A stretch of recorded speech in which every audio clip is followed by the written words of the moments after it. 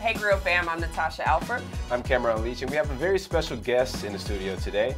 He's a three-time New York Times best-selling author. And you've probably seen his commentary daily on CNN, but he is also the CEO of the Reform Alliance, co-founder of Cut 50, and he's working to end mass incarceration across the country.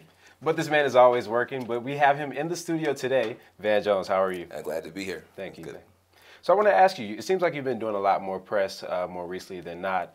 Uh, how has it been on the other side of the interview?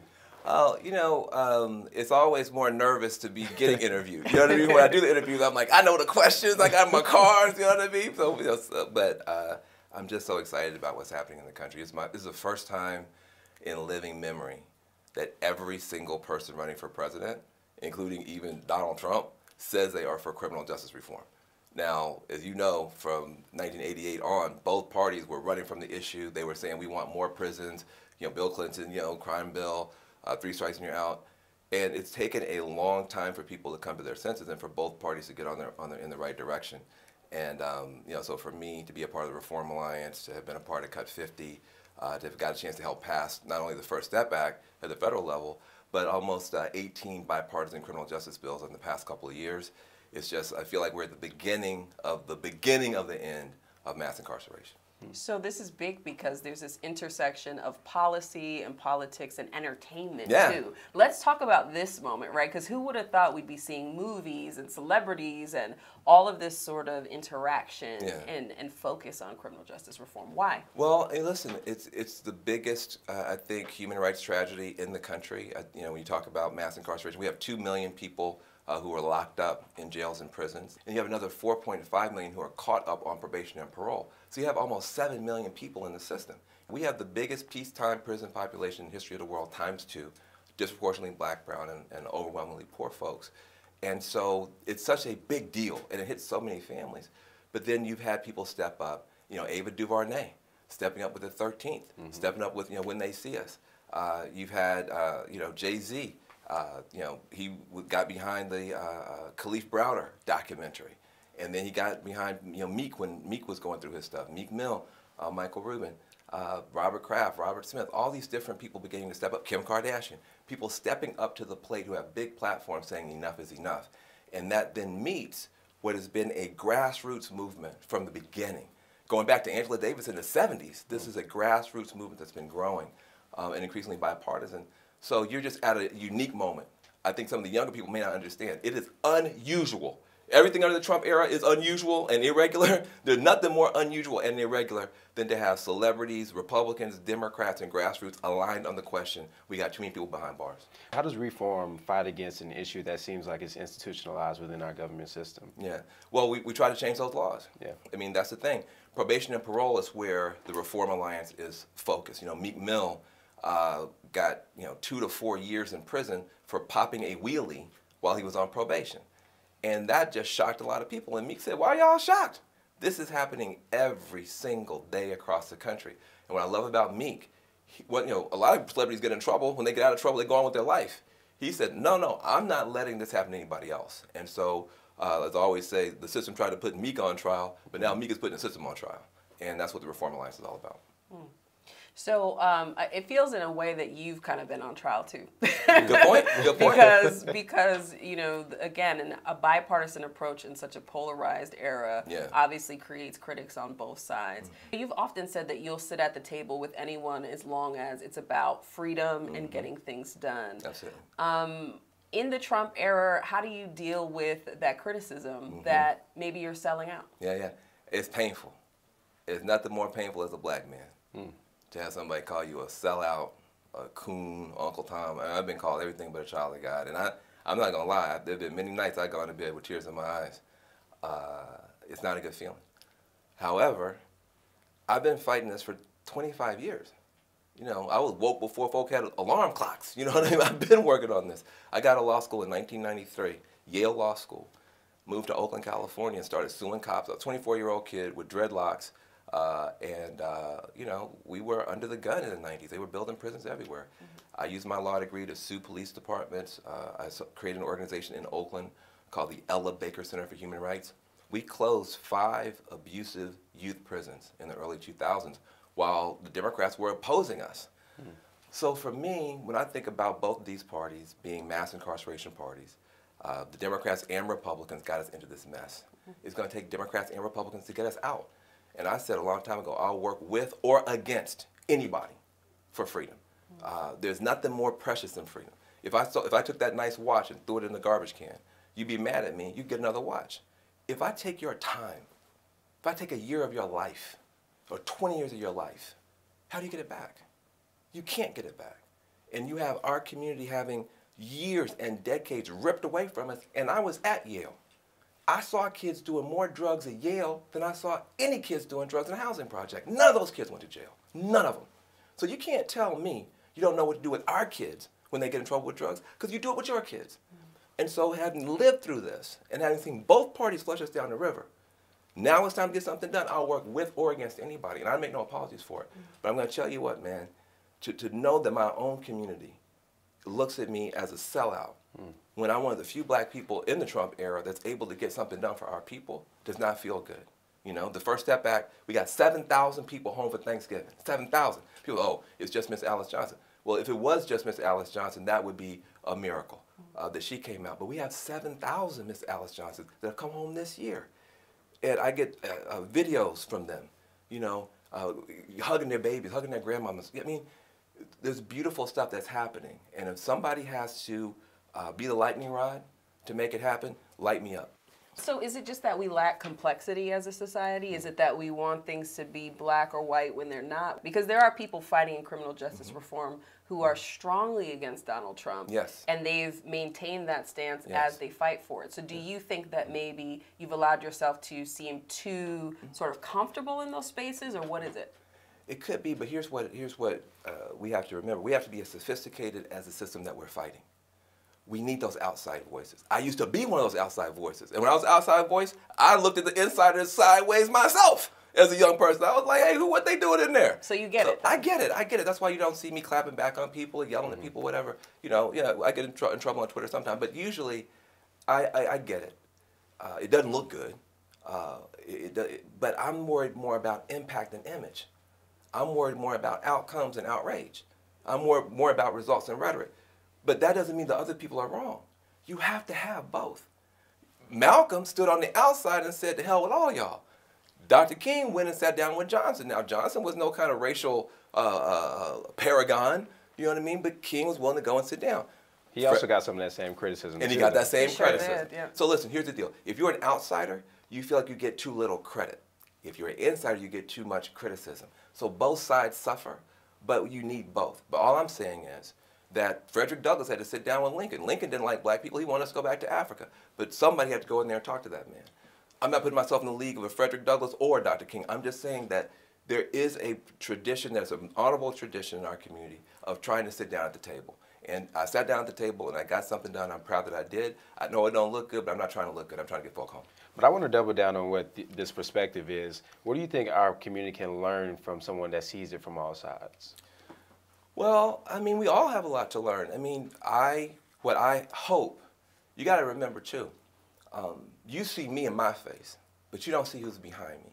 There's a whole team of people who are formerly incarcerated, at, you know, with Cut 50, people who are on probation and parole through the Reform Alliance, who are telling me what to do, who are telling me what to say. Mm-hmm. None of those people are saying, don't work with Republicans. I never met nobody in prison that said, get me out of prison, man, do whatever you can, but whatever you do, don't talk to no Republicans. Right. That's not what they say. They want to go home. They say they don't, they don't care who's in the White House, they're trying to go home to their mama's house. And, and so, so I'm, I'm, I'm being held accountable not to my friends on Twitter, not to my other, I'm being held accountable by people who are suffering.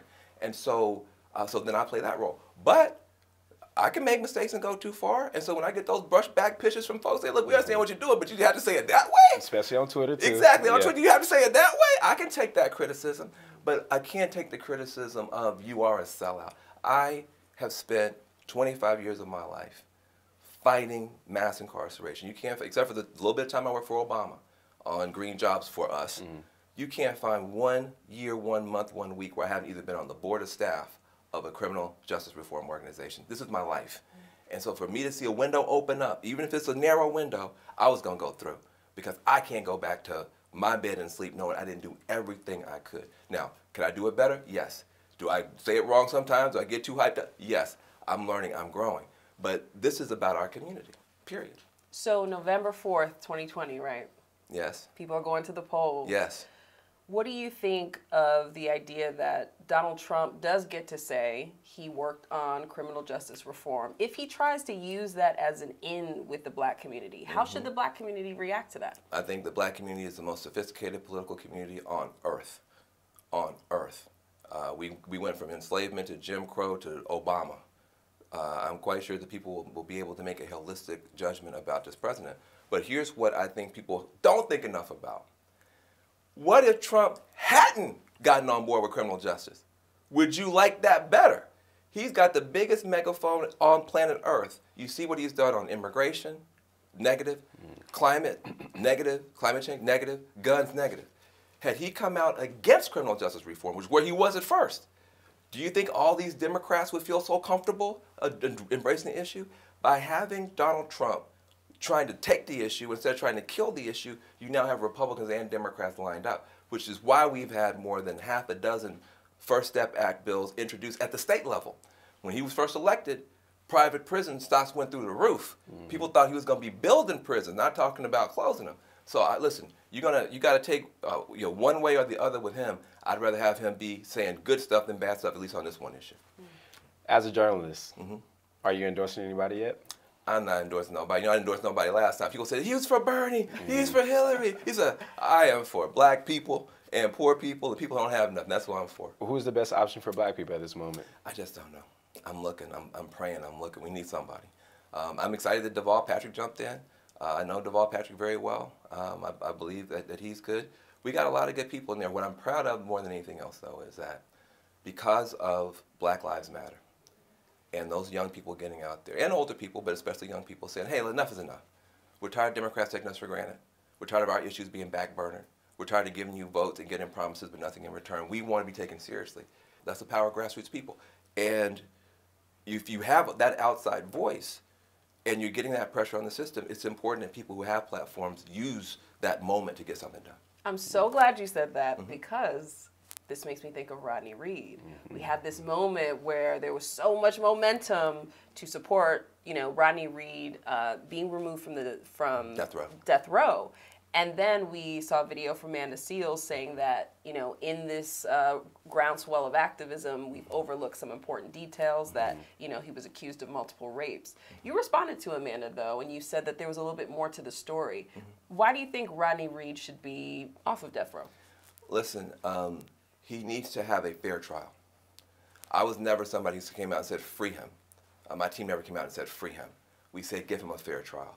If he is guilty, he's guilty. If he's innocent, he's innocent. But don't be hiding evidence and doing like a lot of the stuff that the DAs came out and said about him, they never put forward the evidence of.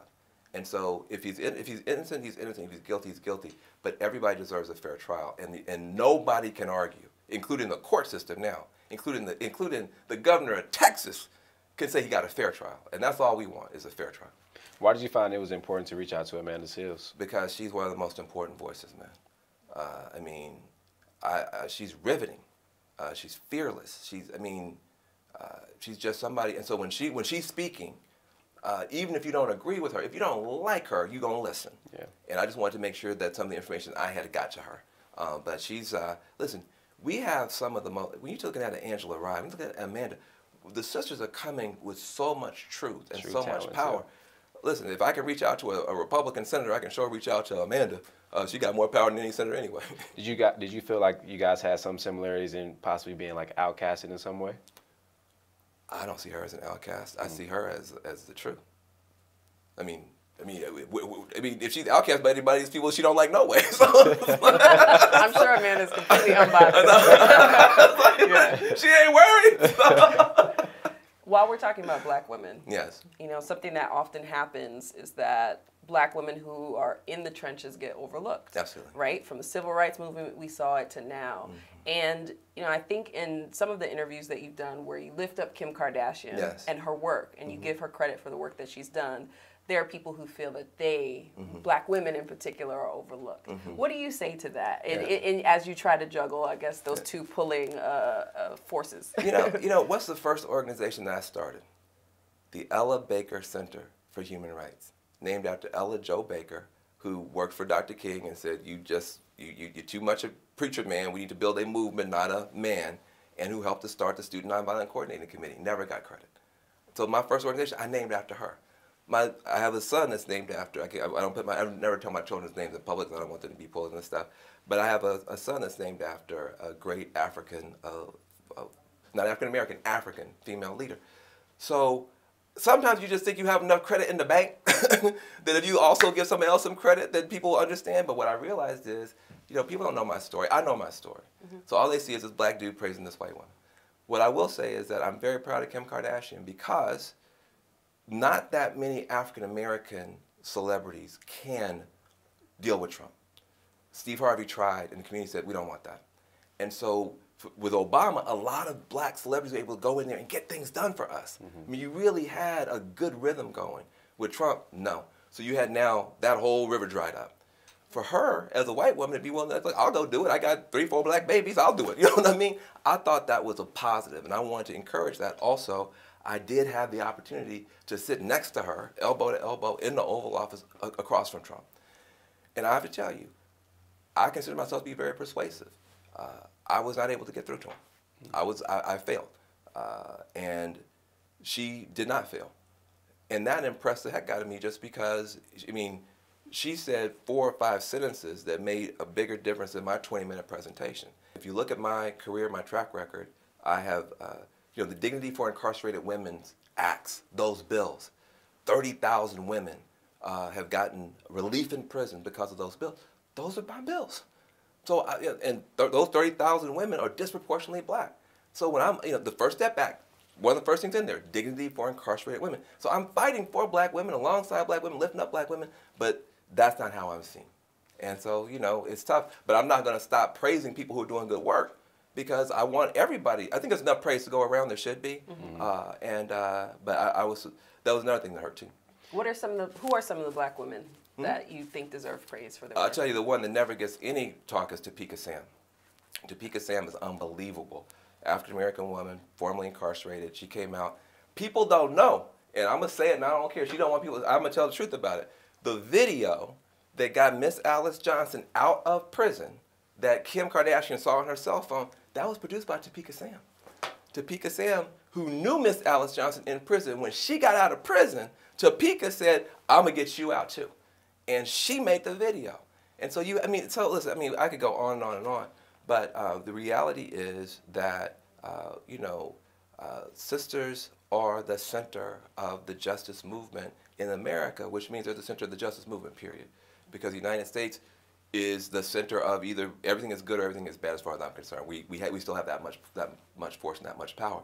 If you look at the vote, uh, African American women, 96% voted uh, for Hillary Clinton. Uh, only like 47% of white women voted for Hillary Clinton. So you think about that. You know, you, you have a, a, a, community of people that is so solid for the Democratic Party, so solid for the cause, but hasn't gotten the, the recognition, hasn't got, gotten the support.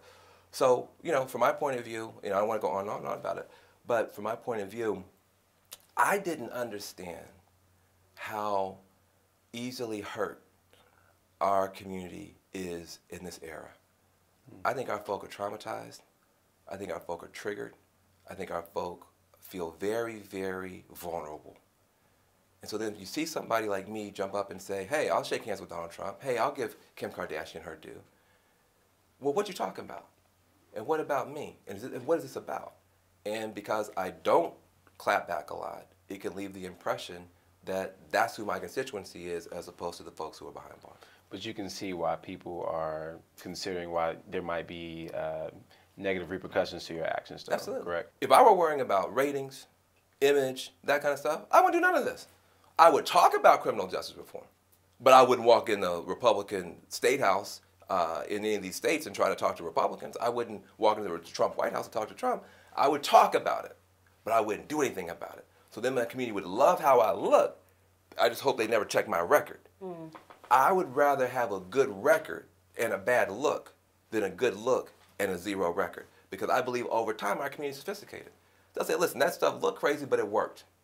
That stuff looked buck wild, but he got there's 7,000 people home for Thanksgiving? Well, go on, brother. That's what people will get you once the once the actual results start coming in people will say, look, somebody, and listen, you know, who are my mentors? Sharpton. Sharpton said, I'm not going to the White House, but if you go, here's how you deal with it. Marc Morial, he said, look, I'm not going, but if you go, here's how you deal with it. Hakeem Jeffries, who sat down and made the deal happen, who I was able to, to get back and support. Karen Bass, who's my mentor. Barbara Lee, who's been my mentor. So it's like, I'm not just out here. You see me, I'm the only fool willing to raise my hand. But if you zoom in, it's a whole lot of people around me helping me do what I'm doing. There's no way you could get a bill done like this, just one Negro. Uh, you know, we, we it, it's everything you see ain't what it is, is what I'm saying. And I just believe, I trust my community. Over time, people say, yeah, I don't, I didn't like when he said this, I didn't like when he did that. It was, it was look crazy, but it worked, and the proof is in the pudding. You alluded to the First Step Act. Can you take take me back to how you first felt when it passed? It was the first time in my life I felt content. Just that moment, because I thought about all of those community coalition meetings that uh, went bad because we couldn't win.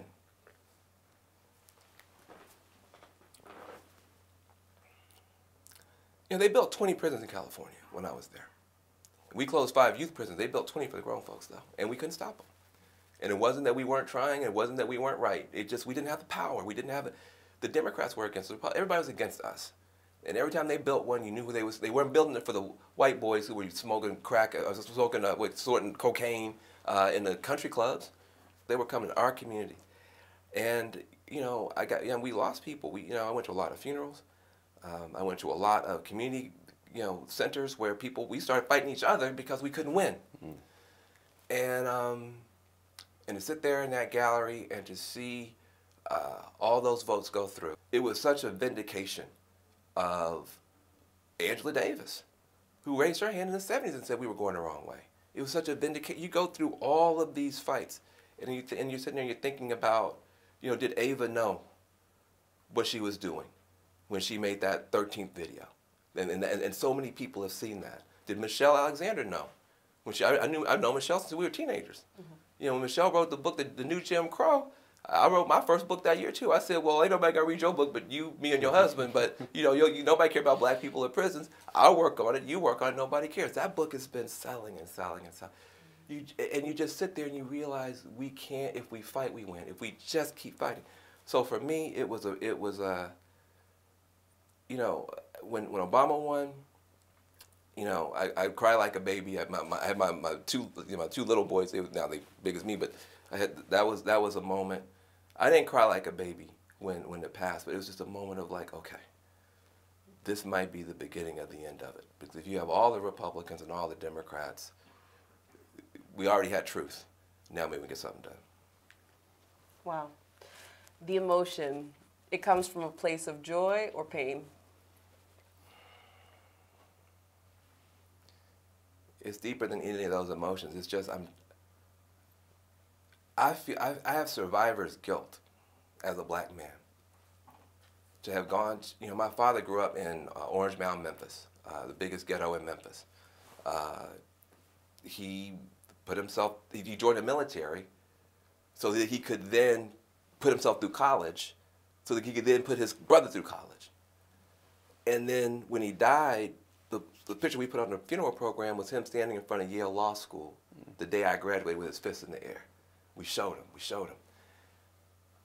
I feel like a fraud because so many smarter guys than me are in prison right now. There's so many guys who are so much more talented, so much better looking, so they're in, in, in, in graves. And so here I am. What do I look like worrying about what, I, what, what they say about me on Twitter? What do I look like worrying about anything when I when I, walk into a prison? It's just acres and acres of beautiful brothers and sisters. I mean, much smarter than the people. Look, I've taught at Princeton. I've gone to MIT. The, the, our people would blow these folk out the water if they had a chance. And so, it's not joy. It's not pain. It's just a it's just a feeling of get off our back and let us shine. And I'll do anything for that. Um, I didn't mean to come in here preach. I was trying to talk about my statistics. I, I, I like it. I like it. I got more statistics. I'll put them on the internet. I know we gotta go. They'll but, be but, in the article. yeah, but anyway, you know, it's it's this is not. Most people on TV don't do this. you know, they, they it's hard enough to have a TV show. You just do your TV show. You don't then spend you know, the, the, you know four or five other days in the week going to Pennsylvania and Ohio and Michigan trying to pass bills. But I would feel guilty if I didn't do that. Uh, there are too many other people who should be out here uh, who don't get that chance for me to just, you know, play it safe. I'm not gonna play it safe.